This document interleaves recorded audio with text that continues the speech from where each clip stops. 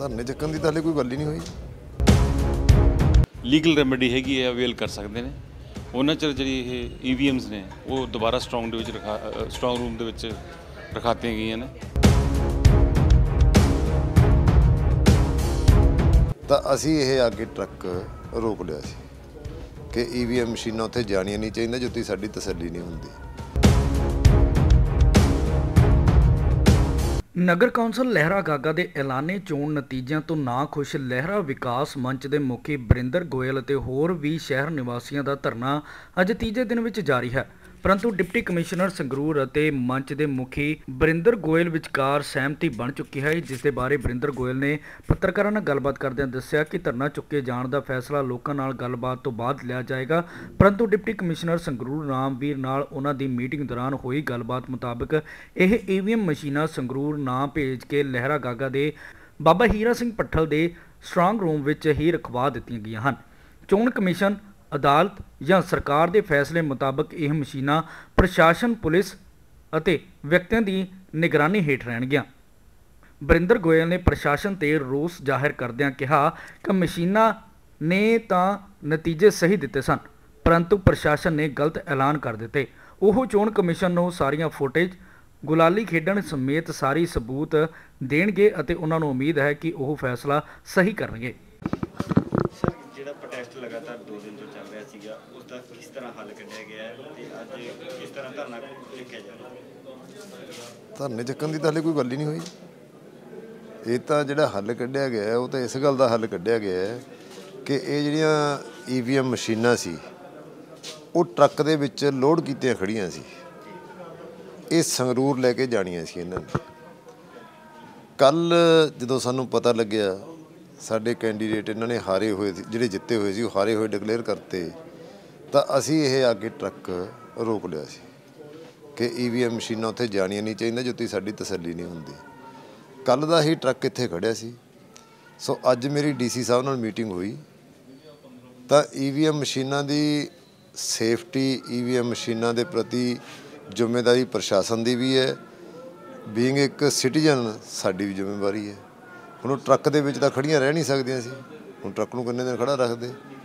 ਤੇ ਫਿਰ ਇਹ ਫੈਸਲਾ ਕੀਤਾ ਗਿਆ ਡੀ ਸਾਹਿਬ ਦੀ ਮੀਟਿੰਗ ਦੇ ਵਿੱਚ ਕਿ ਇਹ ਮਸ਼ੀਨਾਂ ਸੰਗਰੂਰ ਨਾ ਭੇਜ ਕੇ ਸਾਡਾ ਸਟਰੋਂਗ ਰੂਮ ਇੱਥੇ ਹੀ ਬਣਾ ਦਿਓ, ਲਹਿਰੇ ਦੇ ਵਿੱਚ। ਉਹਨਾਂ ਦੇ ਕਹਿਣ ਮੁਤਾਬਕ ਤੇ ਸਾਡੇ ਕਹਿਣ ਮੁਤਾਬਕ ਇਹ ਸਟਰੋਂਗ ਰੂਮ ਇੱਥੇ ਹੀ ਬਣਾ ਦਿੱਤਾ ਗਿਆ। ਉਹ ਜਿਹੜੀਆਂ ਮਸ਼ੀਨਾਂ ਟਰੰਕਾਂ ਦੇ ਵਿੱਚ ਬੰਦ ਸੀਆਂ ਉਹ ਇਸ ਸਟਰੋਂਗ ਰੂਮ ਨੂੰ ਸਾਡੇ ਸਾਰੇ ਸਾਥੀਆਂ ਨੇ ਦੇਖ ਕੇ ਤਸੱਲੀ ਕਰਕੇ ਉਹ ਇੱਥੇ ਟਰੰਕ ਨੇ ਜਿਹੜੇ ਰਖਵਾ ਦਿੱਤੇ ਗਏ ਨੇ। ਤੇ ਇਹ ਫੈਸਲਾ ਹੋਇਆ ਸਾਡੇ ਬੰਦੇ 24 ਘੰਟੇ ਇੱਥੇ ਸਟਰੋਂਗ ਰੂਮ ਦੀ ਨਿਗਰਾਨੀ ਕਰਨਗੇ, ਇੱਥੇ ਪਹਿਰਾ ਦੇਣਗੇ। ਤੇ ਨਾਲ ਇਹਨਾਂ ਦੀ ਸਾਰੀ ਗਾਰਡ ਹੈ ਜਿਹੜੀ ਉਹ ਲੱਗੀ ਹੋਏਗੀ। ਬਾਕੀ ਜੋ ਆਦੇਸ਼ ਇਲੈਕਸ਼ਨ ਕਮਿਸ਼ਨ ਵੱਲੋਂ ਹੋਏਗਾ ਜਾਂ ਅਸੀਂ ਕੋਈ ਜਿਹੜੀ ਪੈਰਵੀ ਕਰਾਂਗੇ ਅਸੀਂ ਇਹੀ ਪਹਿਲਾਂ ਤਾਂ ਇਹ ਜੋ ਮਸ਼ੀਨਾਂ ਰੱਖੀਆਂ ਗਈਆਂ, ਹੁਣ ਇਹੀ ਮਸ਼ੀਨਾਂ ਨੇ ਪਹਿਲਾਂ ਸਾਨੂੰ ਜੇਤੂ ਕਰਾਰ ਦਿੱਤਾ ਸੀ। ਹੁਣ ਇਹ ਕਹੀ ਜਾਂਦੇ ਨੇ ਸਾਨੂੰ ਦੇਤਾ। ਉਹ ਤਾਂ ਐਸਡੀਐਮ ਮੈਡਮ ਦੀ ਕਾਰਸਤਾਨੀ ਆ ਸਾਰੀ ਜਿਹੜੀ ਹੈਗੀ ਆ। ਨਹੀਂ, ਮਸ਼ੀਨਾਂ ਨੇ ਤਾਂ ਮੇਰੇ ਖਿਆਲ ਦੇ ਵਿੱਚ ਗਲਤ ਬੋਲਿਆ ਨਹੀਂ ਹੋਊਗਾ। ਮਸ਼ੀਨਾਂ ਨੇ ਜਿਹੜਾ ਰਿਜ਼ਲਟ ਪਹਿਲਾਂ ਦਿੱਤਾ, ਮਸ਼ੀਨਾਂ ਦਾ ਤਾਂ ਰਿਜ਼ਲਟ ਉਹੀ ਹੋਊਗਾ। ਰੀਕਾਊਂਟਿੰਗ ਦੀ ਗੱਲ ਕਰੋਗੇ? ਜਾਂ ਮਤਲਬ ਕੋਈ ਡੀਸੀ ਸਾਹਿਬ ਵੱਲੋਂ ਜਾਂ ਆਬਜ਼ਰਵਰ ਕੱਲ ਆਏ ਸੀ, ਉਹਨਾਂ ਵੱਲੋਂ ਅਸੀਂ ਆਬਜ਼ਰਵਰ ਨੂੰ ਕੱਲ ਵੀ ਬੇਨਤੀ ਕੀਤੀ ਸੀ, ਅੱਜ ਵੀ ਮੇਰੀ ਫੋਨ ਤੇ ਗੱਲ ਹੋਈ ਆ। ਅਸੀਂ ਇਲੈਕਸ਼ਨ ਕਮਿਸ਼ਨ ਨੂੰ ਹੀ ਮੇਰੇ ਖਿਆਲ ਦੇ ਵਿੱਚ ਪੂਰਾ ਅਖਤਿਆਰ ਆ ਕਿ ਉਹ ਸਾਡੀ ਸਾਰੀ ਕੰਪਲੇਂਟ ਲਿਖ ਕੇ ਲੈ ਗਿਆ ਕੱਲ ਸਾਰਾ ਅਸੀਂ ਸਬੂਤ ਵੀ ਦਿੱਤੇ ਆ ਵੀ ਸਾਡਾ ਜਿੱਤੇ ਹੋਏ ਕੈਂਡੀਡੇਟ ਤੇ ਇਸ ਤਰ੍ਹਾਂ ਸਾਡੇ ਜਸ਼ਨ ਵੀ ਮਨੇ ਨੇ, ਸਾਰਾ ਕੁਝ ਹੋਇਆ। ਤੇ ਉਹ ਵੀ ਇਲੈਕਸ਼ਨ ਕਮਿਸ਼ਨ ਵੀ ਇਸ ਦੀ ਰੀਕਾਊਂਟਿੰਗ ਦੀ ਜਾਂਚ ਦੇ ਸਕਦਾ। ਉਹ ਅਸੀਂ ਦੇਖਾਂਗੇ, ਬਾਕੀ ਅਸੀਂ ਆਪਣੇ ਵਕੀਲਾਂ ਨਾਲ ਰਾਏ ਕਰ ਰਹੇ ਹਾਂ। ਜਿਹਾ ਜਿਹਾ ਵੀ ਕੋਈ ਲੀਗਲੀ ਇਸ ਦਾ ਜੋ ਵੀ ਸਮਾਧਾਨ ਹੋਏਗਾ ਅਸੀਂ ਉਸ ਮੁਤਾਬਕ ਕੰਮ ਕਰਾਂਗੇ। ਦੇਖੋ ਹਾਲੇ ਤੱਕ ਤਾਂ ਸਾਨੂੰ ਇਹ ਨਹੀਂ ਪਤਾ ਵੀ ਸਰਟੀਫਿਕੇਟ ਜਾਰੀ ਹੋਇਆ ਜਾਂ ਨਹੀਂ ਹੋਇਆ। ਹਾਲੇ ਤਾਈਂ ਜਦੋਂ ਪ੍ਰਸ਼ਾਸਨ ਨੇ ਅਨਾਉਂਸ ਕਰਤਾ ਵੀ ਨੋ ਕਾਂਗਰਸ ਦੀਆਂ ਸੀਟਾਂ ਆ ਗਈਆਂ। ਤੇ ਤਿੰਨ ਤਿੰਨ ਜਿਹੜੀਆਂ ਹੈਗੇ ਤੁਹਾਡੇ ਆਜ਼ਾਦ ਦੇ ਹਿੱਸੇ ਗਈਆਂ 6 ਸੀਟਾਂ। ਤਾਂ ਕਲੀਅਰ ਹੈ ਵੀ ਉਹਨਾਂ ਨੇ ਸਰਟੀਫਿਕੇਟ ਕਾਂਗਰਸ ਨੂੰ ਤਾਂ ਦੇ ਹੀ ਦਿੱਤੀ ਹੈ।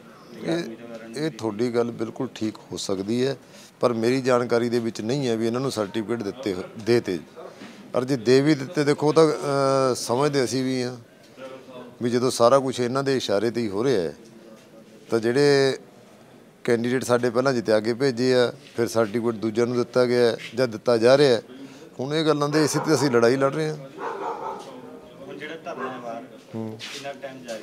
ਉਹ ਉਹ ਅਸੀਂ ਆਪਣੇ ਸਾਥੀਆਂ ਦੇ ਨਾਲ ਰਾਏ ਕਰਦੇ ਹਾਂ।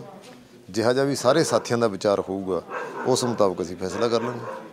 ਉੱਥੇ ਹੀ ਇਸ ਦੀ ਪੁਸ਼ਟੀ ਕਰਦਿਆਂ ਤਹਿਸੀਲਦਾਰ ਲਹਿਰਾ ਸੁਰਿੰਦਰ ਸਿੰਘ ਨੇ ਪੱਤਰਕਾਰਾਂ ਨਾਲ ਗੱਲਬਾਤ ਕਰਦਿਆਂ ਕਿਹਾ ਕਿ ਪਬਲਿਕ ਦੀ ਮੰਗ ਹੈ ਅਤੇ ਉੱਚ ਅਧਿਕਾਰੀਆਂ ਦੇ ਆਦੇਸ਼ ਮੁਤਾਬਕ ਅਗਲੇ ਹੁਕਮਾਂ ਤੱਕ ਇਹ ਮਸ਼ੀਨਾਂ ਸੀਲ ਕਰਕੇ ਪੁਲਿਸ ਪਾਰਟੀ ਦੇ ਇੰਚਾਰਜ ਕਰਮਜੀਤ ਸਿੰਘ ਦੇ ਹਵਾਲੇ ਕਰ ਦਿੱਤੀਆਂ ਗਈਆਂ ਹਨ।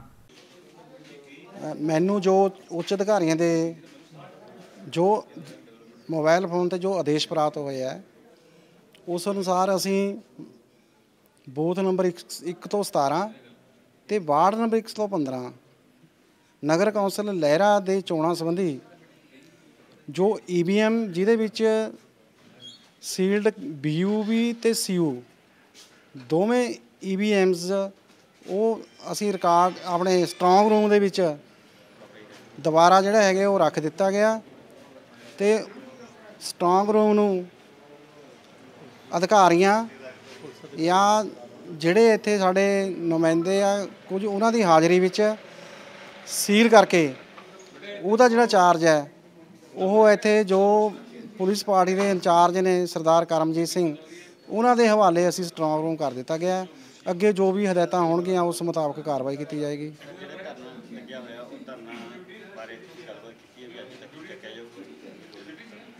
ਦੇਖੋ, ਸਾਨੂੰ ਤਾਂ ਇਹੀ ਸੀਗਾ ਕਿ ਉਹਨਾਂ ਦੀ ਜੋ ਡਿਮਾਂਡ ਹੈ ਇਹੀ ਸੀਗੀ ਕਿ ਇੱਥੇ ਮਸ਼ੀਨਾਂ ਇੱਥੋਂ ਨਾ ਜਾਣ ਤੇ ਅਸੀਂ ਜੋ ਵੀ ਉੱਚ ਅਧਿਕਾਰੀ ਦੇ ਆਦੇਸ਼ ਪ੍ਰਾਪਤ ਹੋਏ ਆ, ਉਹਦੇ ਮੁਤਾਬਕ ਅਸੀਂ ਮਸ਼ੀਨਾਂ ਇੱਥੇ ਰੱਖਤੀਆਂ ਤੇ ਮੈਨੂੰ ਆਸ ਹੈ ਕਿ ਹੁਣ ਉਹ ਜਿਹੜਾ ਹੈਗਾ ਆਪਣਾ ਧਰਨਾ ਜਿਹੜਾ ਚੱਕ ਲੈਣਗੇ। ਉਧਰ ਜਦ ਡੀਐਸਪੀ ਨਾਲ ਗੱਲਬਾਤ ਕੀਤੀ ਗਈ ਤਾਂ ਡੀਐਸਪੀ ਲਹਿਰਾ ਰਸ਼ਪਾਲ ਸਿੰਘ ਦਾ ਕਹਿਣਾ ਹੈ ਕਿ ਕੁਝ ਉਮੀਦਵਾਰਾਂ ਨੂੰ ਵਧੀਕੀ ਦਾ ਖਦਸ਼ਾ ਸੀ ਅਤੇ ਉਹਨਾਂ ਧਰਨਾ ਲਾ ਰੱਖਿਆ ਸੀ। ਸਿਵਲ ਅਤੇ ਪੁਲਿਸ ਪ੍ਰਸ਼ਾਸਨ ਨੇ ਹੱਲ ਕੱਢਦਿਆਂ ਮਸ਼ੀਨਾਂ ਵਾਪਸ ਰਖਵਾ ਦਿੱਤੀਆਂ ਹਨ ਅਤੇ ਹਰੇਕ ਤਰ੍ਹਾਂ ਦੇ ਬੰਦੋਬਸਤ ਕਰ ਦਿੱਤੇ ਗਏ ਹਨ। ਇੱਥੇ ਲਹਿਰਾ ਗਾਗਾ ਵਿਖੇ ਜਿਹੜੀਆਂ ਚੋਣਾਂ ਹੋਈਆਂ ਸੀ, ਉਹਨਾਂ 'ਚ ਕਈ ਉਮੀਦਵਾਰਾਂ ਨੂੰ ਇਹ ਖਦਸ਼ਾ ਸੀ ਕਿ ਉਹਨਾਂ ਨਾਲ ਕੋਈ ਵਧੀਕੀ ਕੀਤੀ ਗਈ ਹੈ, ਜਿਸ ਕਰਕੇ ਉਹਨਾਂ ਨੇ ਧਰਨਾ ਲਾਇਆ ਹੋਇਆ ਸੀਗਾ।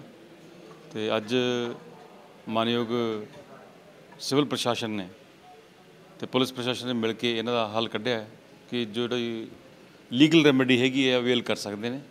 ਉਹਨਾਂ ਚਿਰ ਜਿਹੜੀ ਇਹ ਈਵੀਐਮਸ ਨੇ, ਉਹ ਦੁਬਾਰਾ ਸਟਰੋਂਗ ਦੇ ਵਿੱਚ ਰਖਾ ਸਟਰੋਂਗ ਰੂਮ ਦੇ ਵਿੱਚ ਰਖਾਤੀਆਂ ਗਈਆਂ ਨੇ। ਤੇ ਜਿਹੋ ਜਿਹਾ ਵਰਡਿਕਟ ਆਊਗਾ ਚਾਹੇ ਇਹਨਾਂ ਦੇ ਹੱਕ ਚ ਆਵੇ ਚਾਹੇ ਉਲਟਾ ਉਹ ਉਹਨਾਂ ਨੂੰ ਮੰਨਣਯੋਗ ਹੋਊਗਾ। ਤੇ ਉਦੋਂ ਤੱਕ ਇਹ ਸੇਫ ਕਸਟਡੀ 'ਚ ਬਾਬਾ ਹੀਰਾ ਸਿੰਘ ਭੱਠਲ ਇੰਜੀਨੀਅਰਿੰਗ ਕਾਲਜ ਦੇ ਸਟਰੋਂਗ ਰੂਮ ਦੇ ਵਿੱਚ ਰੱਖੀਆਂ ਗਈਆਂ ਨੇ।